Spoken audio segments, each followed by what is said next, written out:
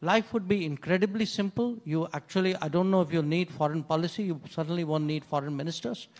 Uh, but it's, uh, you know, I, I uh, want to say that, you know, in real life, I mean, you, you spoke about uh, the Israel uh, issue. Look, in a way, how different the pulls and pressures can be. On the one hand, what happened on October 7th was terrorism. On the other hand, nobody would, uh, you know, countenance the deaths of innocent civilians. Countries may be, uh, may be uh, justified, at least in their own minds, in responding. But you cannot have a response which does not, uh, uh, you know, uh, I mean, every response must take into account something called international humanitarian law.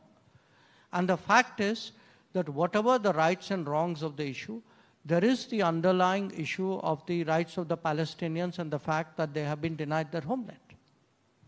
So, I mean, I'm taking that one issue and I've given you five different aspects of that issue. And somewhere a solution cannot be that I will pick two out of the five and leave three, because you will not get a solution out of that. So uh, the, the point is, you know, all of us who are in the, uh, I would say, the policy world, who have to take those calls, we, you know, much of our challenge is how do you get this balance right?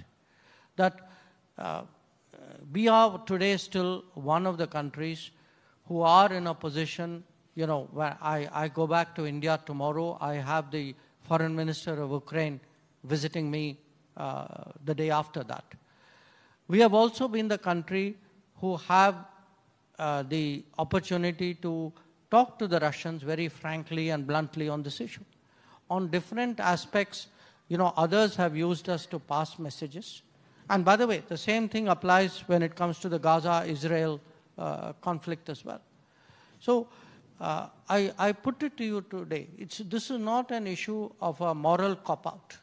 This is an issue today of appreciating that real life actually has a whole lot of complexities and that the uh, considered answers, the, the sustainable answers cannot be